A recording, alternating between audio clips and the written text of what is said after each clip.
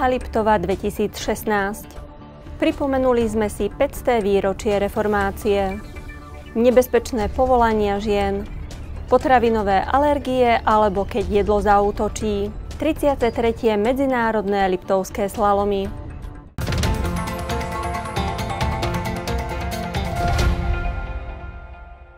Reportáže z diania v meste Liptovský Mikuláš za uplynulé dni moji kolegovia zmapovali a zhrnuli do aktuálneho vydania Liptovských novín. Milí Liptáci, vitajte pri televíznych obrazovkách.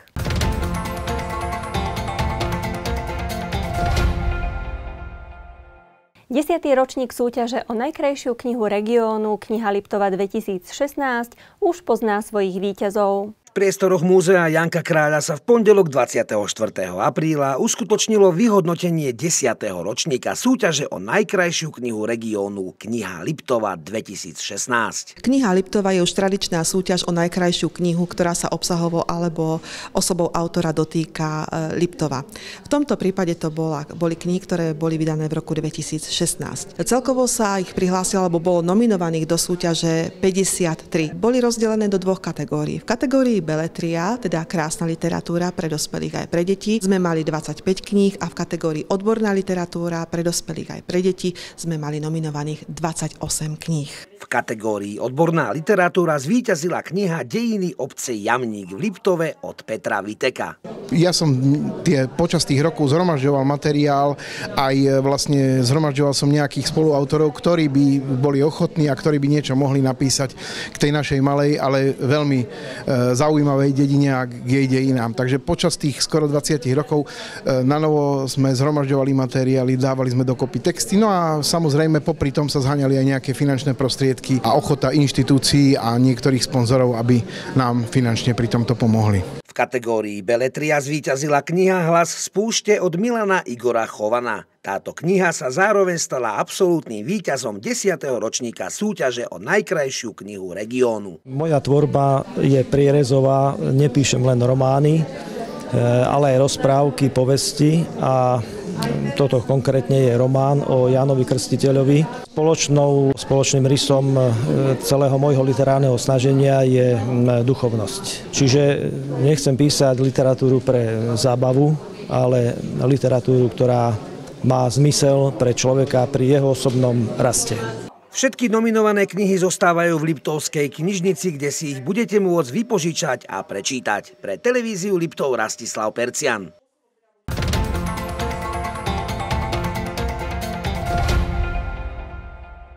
V nedeľu sa v Partizánskej Lubči konalo 9. seniorálne stretnutie zborov k 500. výročiu reformácie. Súčasťou stretnutia bol nielen zaujímavý program, ale aj odovzdávanie pamätných medailí. A my sme boli pri tom. 9. seniorálne stretnutie k 500. výročiu reformácie sa konalo v nedeľu 23. apríla v Partizánskej Lubči.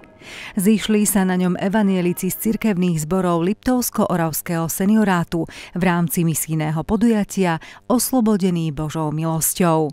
Sme naplnení radosťou a srdcia nám plesajú, že môžeme ďakovať Pánu Bohu za to, že sme sa dožili významného jubilea pol tisícročia reformácie. Slávnostné služby Božie so spovedou a sviatosťou Večere pánovej sa začali v evanielickom kostole v Partizánskej Ľubči o 10. hodine. Po nich boli veriaci súčasťou odhalenia pamätníka k 500. výročiu reformácie. Ďakujem Pánu Bohu za to, že práve my sme sa tu stretli na tomto krásnom 500. výročí reformácie Evangelickej cirkvi a ortodoxského vyznania. Je to pre našu obec veľkou cťou a poctou, že sa tu môžeme stretnúť, prijať toto vyznamenenie, ktoré nám vlastne túto udalosť bude pripomínať. Nechýbali prednášky o histórii, aktivity pre deti a mládež, program, v ktorom účinkovali spevokoly z Partizánskej Ľubče, Hýb, Liptovského Jána, Párnice a dve putovné výstavy.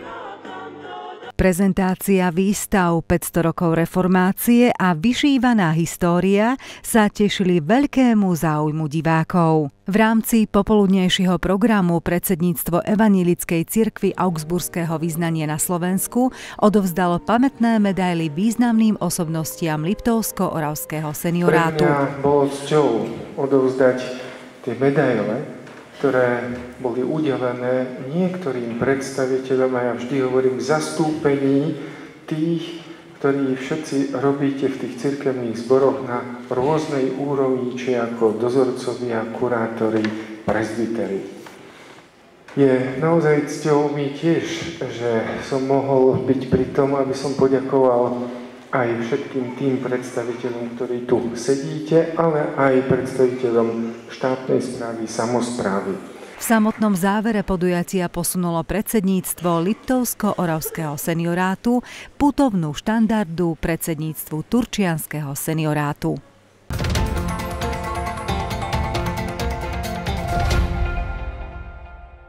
Nie je výnimkou, že nebezpečným povolaniam sa venujú aj ženy.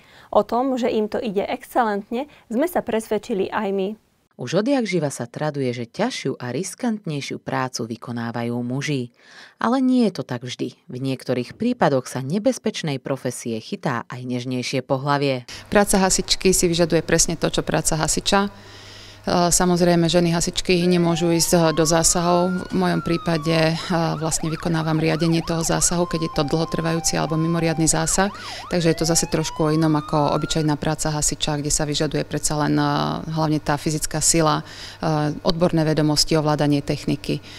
Moje vedomosti musia byť hlavne z tej riadiacej činnosti. Vždycky som mala k hasičine blízko. Môžem povedať, že som vyrastala v hasičskej zbrojnici, pretože môj otec bol hasič, mali sme krúžok hasičský, v obci Žiar. Eh, takže eh, s tou hasičinou nejako som bola tak od detstva spojená a nejak to tak vyšlo, mm, že proste som sa dala na túto dráhu a skončilo to tým, že som sa stala riaditeľkou hasičov Mikuláši. Naozaj tie situácie sú rôzne, akékoľvek, či už pri tom organizovaní na stanici, alebo nikdy neviete proste, aký zásah, kedy bude, čo sa stane, to je to najväčšie riziko. Medzi najnebezpečnejšie povolania patrí vodič, drevorubač, robotník na výškových stavbách, taxikár, hasič, kamionista, pilot a policajt. Týchto všetkých povolaní sa dnes vedia zhostiť aj ženy. Povolanie e, policajtky a hlavne v teréne v ulici si vyžaduje hlavne e, disciplínu, e, seba kontrolu a vlastne, aby bol ten človek taký ducha prítomný tejto práci je to dosť také ťažké, lebo s ľuďmi je vždy ťažká komunikácia. Mňa tie uniformy nejak tak vždy priťahovali, lebo máme v rodine niečo také podobné. A je to taká veľmi zvláštna, zaujímavá práca. Každý deň vás čaká niečo nové, neviete, do čoho prídete. Vždy je nejaká taká situácia, ktorú nečakáte a musíte ju riešiť, musíte vedieť hneď striktne reagovať. A aké sú podľa vás nebezpečné povolania pre ženu? Žeriavnička, kebyže bola v tých výškach, je to také dosť nebezpečné podľa mňa pre nich. No, policajti, policajtky. No, najnebezpečnejšie povolanie pre ženu je pyrotechnik. Taxikárka. To, že ženy sa rokmi dokázali uplatniť aj v mužských povolaniach, odzrkadluje pokrok dnešnej doby prácu taxikárky som začala preto, pretože toto povolanie ma baví vzhľadom k tomu, že rada šoferujem. S ľuďmi sa stretávam, e, môžem s nimi komunikovať, chodím na rôzne miesta, keďže v tejto práci často chodím aj na letiska, do rôznych miest. Ja si myslím, že každé povolanie má svoje rizika. Či v herniach, či na poštách, v obchode, proste človek sa s rizikami stretáva všade. Alebo proste keď sú ľudia spoločensky unavení, ťažko zaplatiť jedno s druhým. Samozrejme robím aj nočné. E, človek sa sem tam bojí, keď si niekto sadne do auta, ale ja som taký typ, že s ľuďmi konverzujem, komunikujem komunikujem a preto sa nebojím. Ja s nimi vždy nejakú tému vymyslím si, aby som ich treba aj odputala, ak by niečo zlé malo vzniknúť alebo čo. Takže v pohode. Ešte aj po roku 1900 vládli silné tendencie pripútať ženu k usporáku a k mužským povolaniam sa ani nepribližovať. Dnes je však všetko inak. Ženy sú čoraz viac emancipovanejšie a samostatnejšie. Kto vie, kam sa posunie nežné pohlavie o pár rokov. Pre televíziu Liptov Zuzana Mikušová.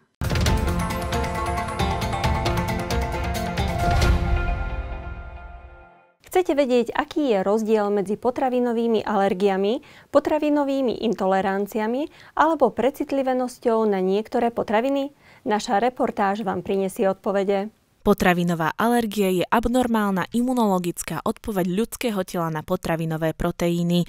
Tento druh alergie postihuje 6 až 8% malých detí, 3 až 5% detí v predškolskom veku a 2 až 4% dospelých. Najčastejšia alergia u detí je na mlieko, krávské mlieko, potom veľakrát na sojové, sojové prípravky, na múku a na iné potraviny, napríklad orechy.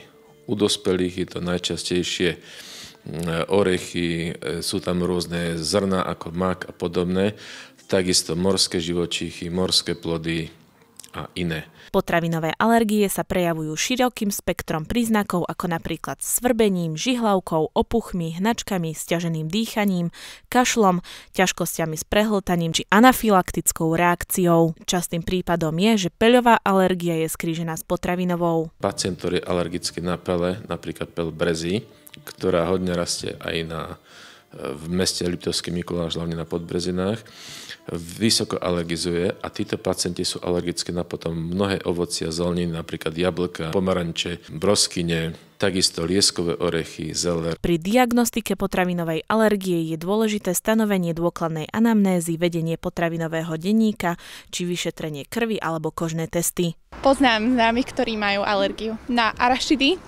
banány, jahody. Nie, nemáme. Kiwi, mrkva, jablko, pomaranč, broskyňa marhula. Často sa však potravinová alergia zamieňa s potravinovou intoleranciou, čo je vlastne neobvyklá reakcia tela na potravinu. Potravinovou intoleranciou podľa odborníkov môže trpieť každý druhý Slovák, no reálne číslo nie je možné vyčísliť. Ukrýva sa za najrôznejšie príznaky ako napríklad únava, migréna, krče či pocit nafúknutého brucha po jedle. Potravinovú intoleranciu je možné zistiť na základe špeciálnych krvných testov. Medzi 10 najproblematickejších potravín patrí krauské mlieko, vaječný bielok, pšenica, pivovarské kvasnice, jačmeň, pistácie, kukurica, kešu oriešky, hrach a červená fazuľa. Pacienti majú, majú predpisované špeciálne potraviny, ktoré, na ktoré si proste zvyknú a kto, s ktorými fungujú a žijú celý život. Deti zvyčajne z intolerancie vyrastú. Rátať treba však s poriadnou zmenou doterajších stravovacích návykov. Môže sa stať aj to, že práve vďaka zdravotnej komplikácii reštaurácii objavíte nové chute a jedlá, možno úplne nový, zdravší životný štýl. Pre televíziu Liptov Stanislava Piatková.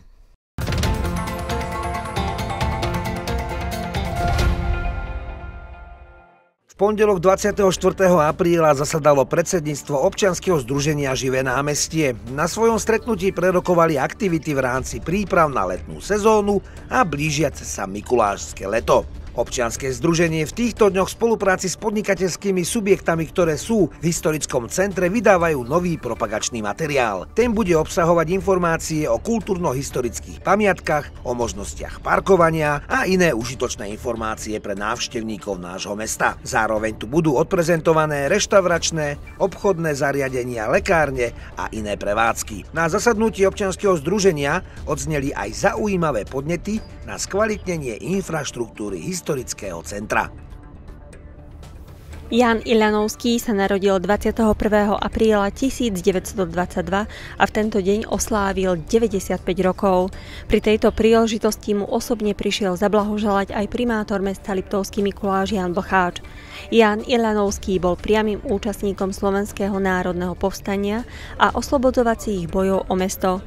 Bojoval za myšlienky národnej slobody, obnovu zvrchovanosti a štátnosti, pričom nasadzoval aj vlastný život. Tá radosť, ja neviem, jak vysvetliť, že som prišiel živý, zdravý a našiel som svojich kamarátov, s ktorými som rok ako spolu slúžil v, v Sovietskom zväze. Počas bojov o Liptovský Mikuláš plnil špeciálne spravodajské úlohy a po vojne patril do protibanderovskej skupiny. Je nositeľom desiatok čestných a zahraničných vyznamenaní. Prezident Slovenskej republiky ho povýšil do hodnosti brigádneho generála vo výslužbe. Všetko najlepšie.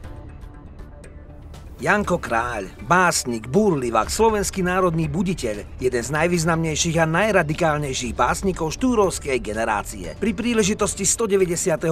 výročia narodenia tohto básnika sa v pondelok 24. apríla Múzeu Janka Kráľa uskutočnila vernisáž výstavy s názvom Janko Kráľ očami liptovských výtvarníkov. Idea tej výstavy bola e, zobraziť e, toho Janka Kráľa v čo najširšom spektre, keďže nevieme, ako naozaj vyzeral. Chceli sme osloviť osloviť e, široké spektrum ľudí, aby oni e, predniesli svoju predstavu o podobe Janka Krála, či už sú to teda malé deti alebo dospelí ľudia.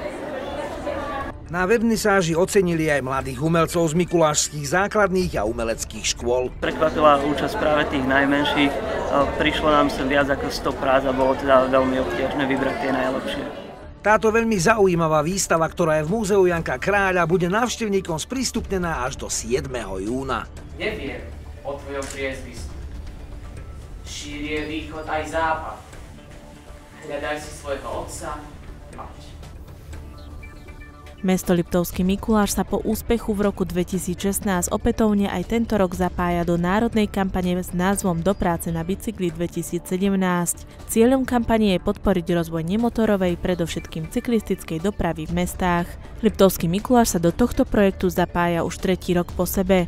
Kampaň je spojená so súťažou v rôznych kategóriách, kde bude vyhodnocovaný napríklad počet najazdených kilometrov jednotlivých tímov na bicykli do práce počas mája, ale aj najatraktívnejší jednotlivci. Súťažiť sa bude aj v aktivite jednotlivých samozpráv. Do súťaže sa môže prihlásiť každý, kto v rámci svojho zamestnania vytvorí tým s počtom dvoch až štyroch osôb a zaregistruje si ho na oficiálnej stránke národnej kampane www.dopracenabicykli.eu. Registrácia potrvá do 5. mája. Samotná súťaž sa uskutoční v mesiaci máj.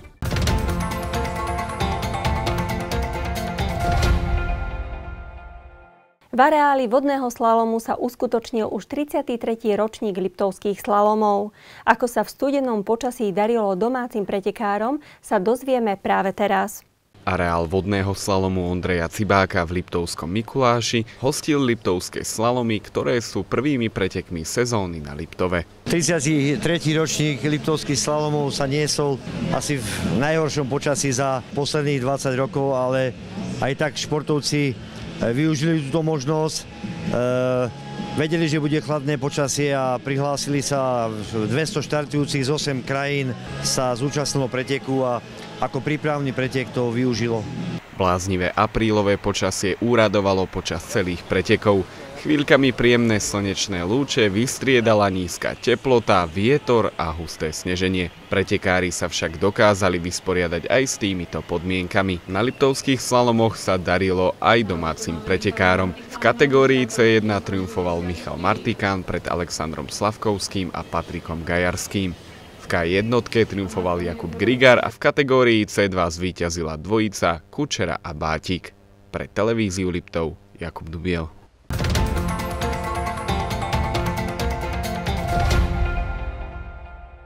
Liptovské noviny sú o vás, s vami pre vás. Ak máte tip na zaujímavú reportáž, pošlite nám ju na adresu tvliptov.tvliptov.sk Majte sa pekne, dovidenia.